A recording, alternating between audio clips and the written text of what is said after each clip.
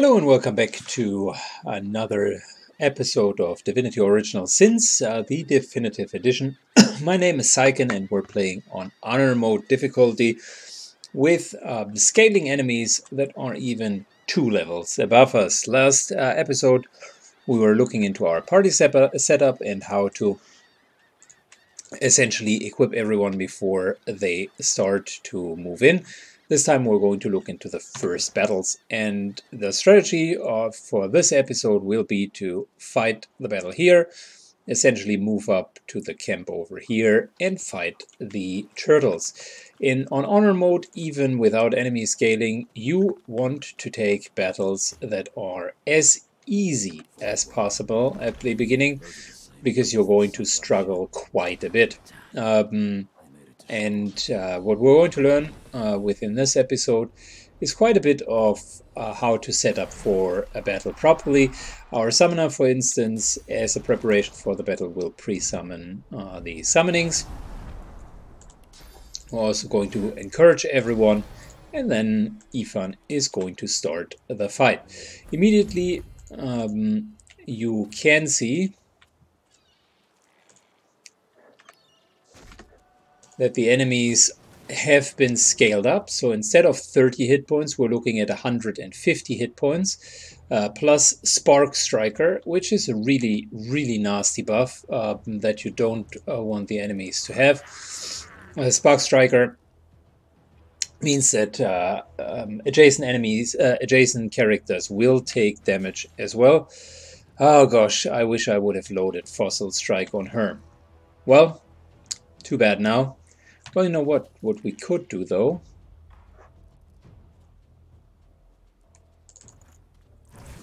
We could use the oil flask. Yep, there we go. Solves the problem. Like I said, you want to be uh, very liberal with your consumables. Besides the oil flask, let's uh, set up a totem and uh, start uh, this fight. Both of them are slowed down it's going to be harder for them to engage us. Uh, we're going to move the incarnate in because uh, it has attacks of opportunity. Ifan here could theoretically uh, deal with both of them, and you know what? Matter of, fact, uh, matter of fact we're going to do that. Um,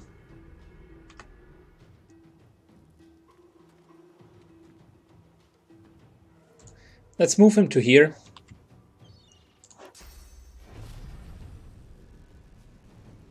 And what we can do is can sprint all the way over here. Unfortunately, the extra attack missed, so we're just going to jump out. That way he's going to take less damage. He only takes one hit. You can immediately see that the scaled up enemies are no joke. They are taking away all of his armor. He uh, our well uh, best equipped character at the moment. So, gotta be careful here. Going to take away all of their armor, and now they can be crowd controlled quite easily. Moving in with uh, Syken just a bit closer, focusing on one character at a time, or one enemy at a time. In this case, it's the Voidling here.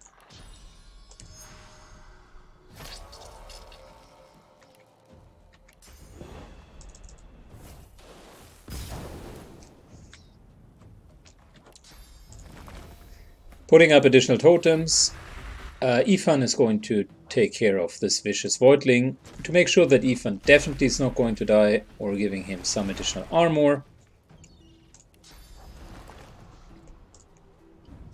I think we already infused the incarnate, so that was unnecessary. But anyways. Alright, Ifan disables um, this one and deals enough damage to almost kill the other one. There we go. One Voidling down. Moving up with the ability points that we got uh, that we've gotten from execution, and let's continue to try to hit the other one.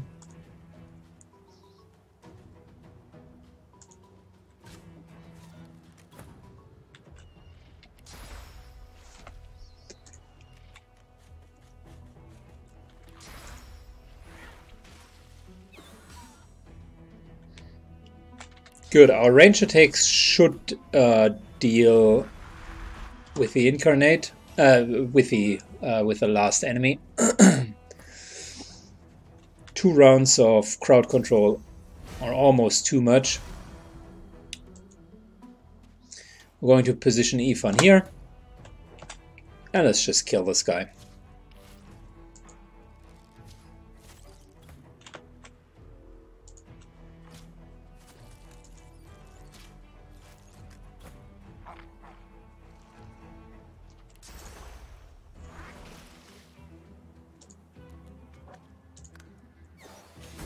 There we go.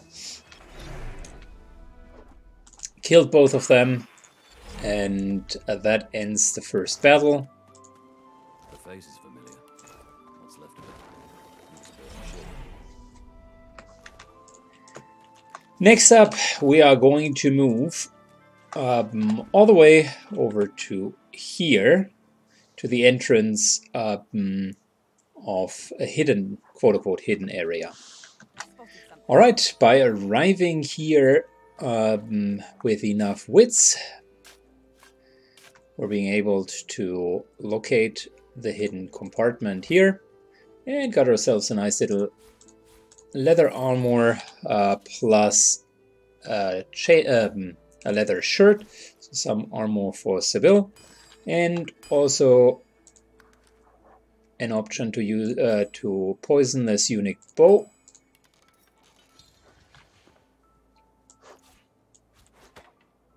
Good.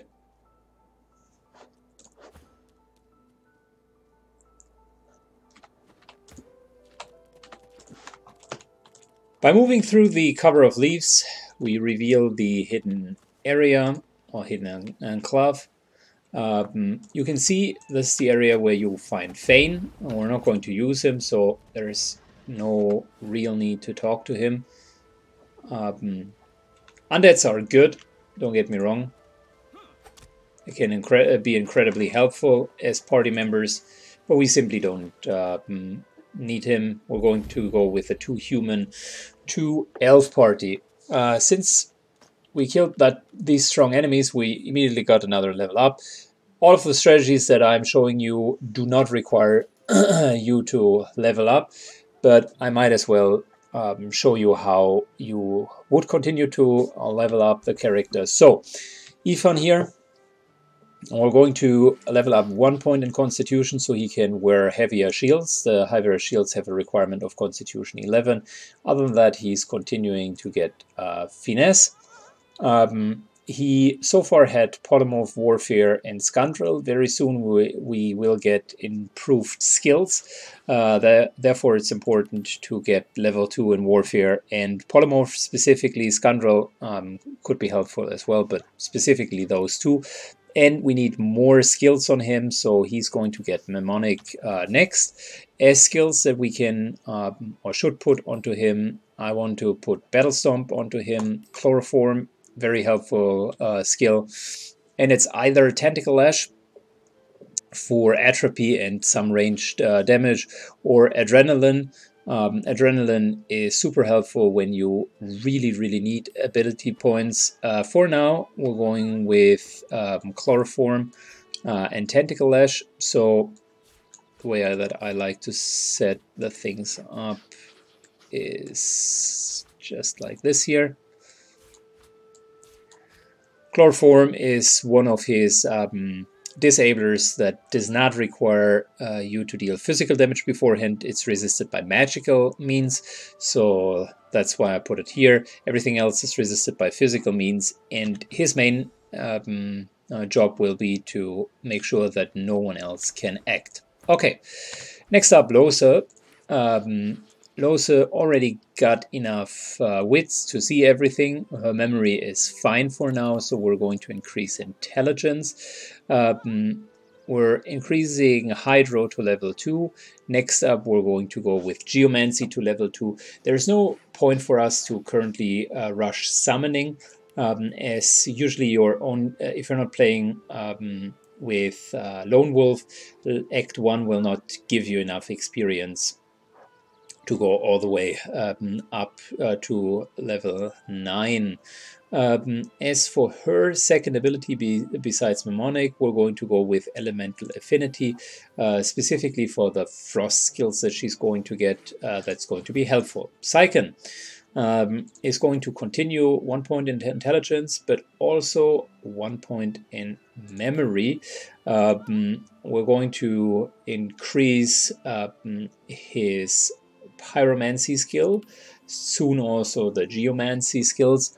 Um, very soon um, we will get the higher level skills. He has elemental affinity already, um, and uh, there are two options. Far Man is definitely a, a, very good option, but I'm going to go for Mnemonic for now uh, to get a broader set of skills. Um, for both of them, I should also load the additional uh, skills. Uh, is fine with hers. That's a really decent loadout. For Syken, um, we uh, will get Haste. Um, we will get uh, Poison Dart as a single, um, uh, a single target damage. Uh, we could get Peace of Mind, which is actually not a bad uh, skill, but since we uh, since we do have um, uh, necromancy uh, through our item, might as well get mosquito swarm. Very helpful ability as well as bloated corpse, um, which again both of them are physical damage, uh, but they are quite helpful both for self sustainability because this here allows him um, to heal, but also for uh, putting another body on the um, on the playing field. Good. We loaded all of his skills. Um, now, last character, uh, pretty straightforward. Um, we're increasing finesse uh, with her. we're increasing warfare, soon also huntsman level 2. And after executioner, we're going to go for hothead. There is an option to also go for glass cannon, um, but uh, we don't need that yet. And specifically, if uh, you are playing either on um, on the enemy scaling random buff um, difficulty, or if you're new to tactician slash honor mode, you might not want to go for glass cannon right away. It is a good skill though, I'm not going to lie. Um, it's actually a really good um, talent. So let's set up for the combat and I'm going to show you just how I'm uh, usually doing that. First things first, everyone's being dechained. Gosh, difficult. Um, so what you want to do in most of the fights is you want to use high ground and leverage it as much as possible. You also want to spread out so that any form of AoE attack is not going to hit you. Um,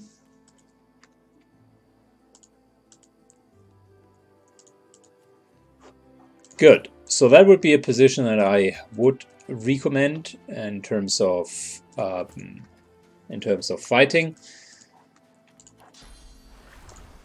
Going to put some water on the ground. I'll show you just in a bit why we're doing that. Um,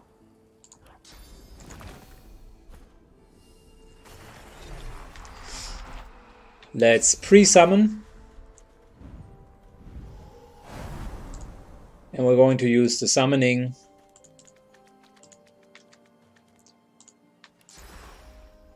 to start the combat. Good. What you can see is that essentially Ifan is the only one combat, um, uh, which, oh, holy moly, which can be seen um, over here. I completely misclicked, um, which means everyone else is outside of combat. One of the things uh, that you should know uh, for being outside of combat is you can buff characters that are inside of combat uh, without getting into combat yourself. And no, it's not a bug, it's an intended feature. Um, they haven't even removed it uh, with the definitive edition. So as long as you're simply buffing, nothing really uh, will happen. So one after the other, uh, we're now going to not only buff uh, the, uh, the character, uh, by the way, uh, Clear Mind, uh, physical and magical armor works. Haste does not work. It gets you into combat. So what we're instead going to do is we're uh, pre-hasting ourselves and we're essentially starting combat. There we go. So Syken is now in combat as well. Lohse, still out of combat, uh, can use her remaining uh, skills to also buff him. And you might think it's over the top. Um, for normal um, honor mode, it certainly is. I wouldn't um, recommend you to, to do that. Uh, however, uh, for this mode here, it is certainly not over the top. I can reassure you that um, it's quite likely that we're um, almost getting one shot. And in order to prevent that, I'm making sure that everyone is well buffed. Alright, Lohse takes some elemental arrows here. And not Lohse, Sebille, sorry. And she begins to get into combat as well. Lohse is still out of combat and I intend to keep her that way for now.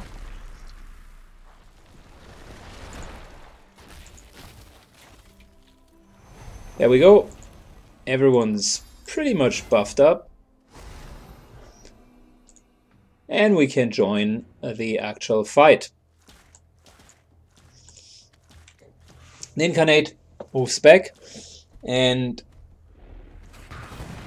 well, now you can see why we are doing that. Uh, the Incarnate, by the way, uh, took a sizable amount of uh, uh damage. So, Ifan here shouldn't um, stand too far in the front. Matter of fact, what I want to do with him is we're going to move quite a bit back. Wait a second. Yeah, that turtle doesn't have magical armor. Well, that's a pity.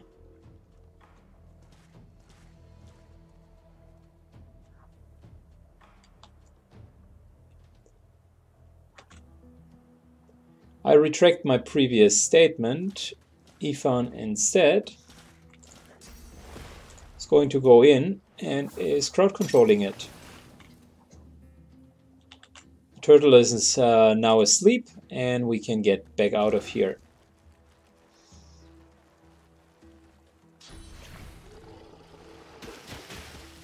You can see the amount of damage that they are doing, although I pre-buffed with uh, Frost Shield. Uh, mm, essentially what they did is they immediately took the shield off of Sebille.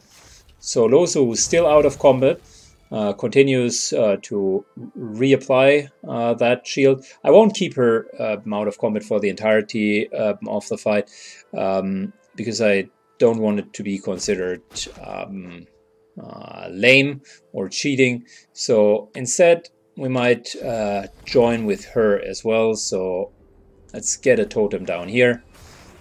That way Lohse joins the fight. So now we have a regular uh, a regular battle. You could keep her back here and always rebuff uh, the the back line. That's entirely possible. Good. Let's start with taking away the physical armor. Let's furthermore create blood on the ground, making mosquito swarm incredibly cheap. The enemy is now bleeding.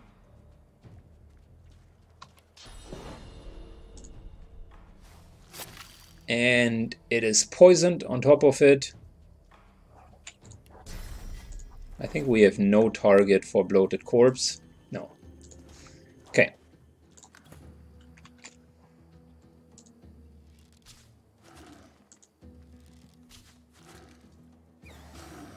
There we go. It's almost down.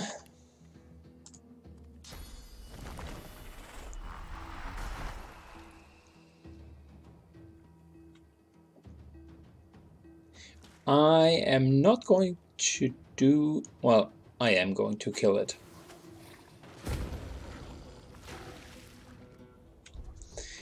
I wanted to leave it for someone with Executioner, but doesn't matter really. Alright, the Incarnate is down, which is unfortunate. But we can always resummon a new one.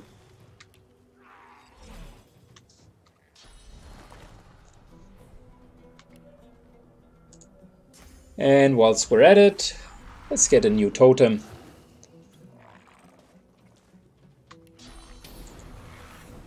I think the turtles were a weak against fire, right? Yeah, fire minus 15%.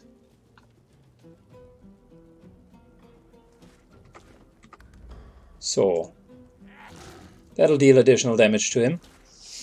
We want to get rid of their physical armor so that we can crowd control them better. So I might put some more physical totems up. But luckily for us, this guy here decided to join us right away.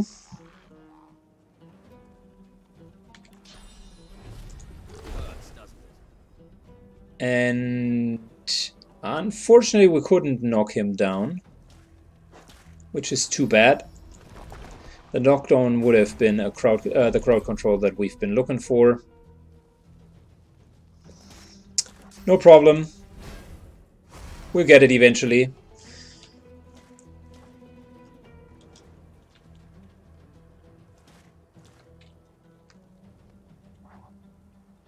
So, let's start with summoning a bloated corpse. Continue with uh, dealing a lot of damage to this guy.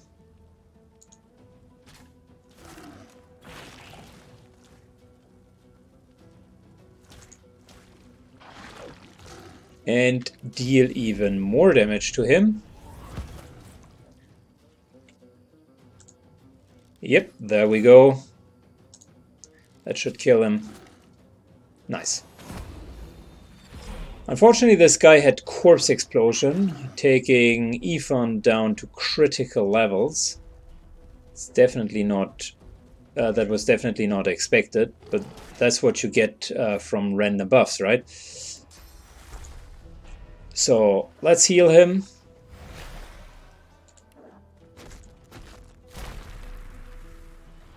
Let's fortify him. Let's frost armor him.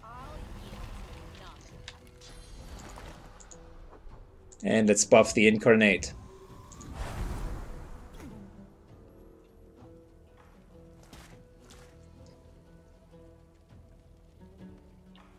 Alright, question of the day is should we stay in melee with this guy? And the answer is probably no. So let's take away some of his armor. Um, we still can't uh, battle stomp him. It will deal too little uh, damage. So we're instead just going to charge away with the horns.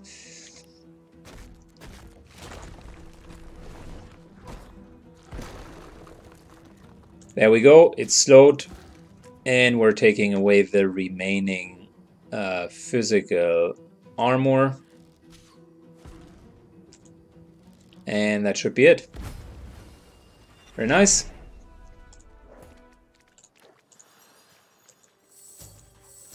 Straightforward fight. Uh, you should have probably as easy of a fight, um, if not even easier. This here is just a starter fight, so if uh, you're going to have problems here, that actually is a bad sign. Uh, we're having a unique um, a unique wand here, a smoke grenade, which can be helpful, and a lot of trash loot. So there are a few other items here as well.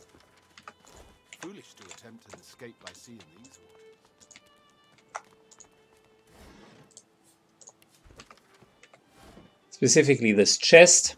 In terms uh, to uh, in order to get the uh, chest, my recommendation would be uh, simply attack it with a ranged weapon. Alright, once this is done, you can travel back to the Square of Fort Joy, where we're going to pick up the next quest. Our next quest is going to be yet another difficult fight. Um, we are going to have a fight at the beach. So in order to prepare that, move here and get the yarrow flower. You will need it.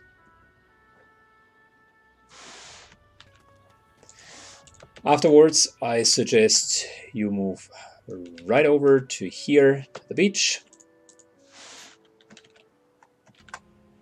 And with the yarrow flower in your inventory, talk to Migo. Hand him the yarrow plant. He will give you a ring that is gonna be helpful for you. The ring itself is very, very good because it gives you the ability to heal, uh, even if you don't have the hydrosophist. So uh, it's highly recommended to take uh, to use it. But in order to uh, fully utilize its potential, I would go even further and say move up back to the um, to the uh, town square, and then go up here to Magister Yarrow.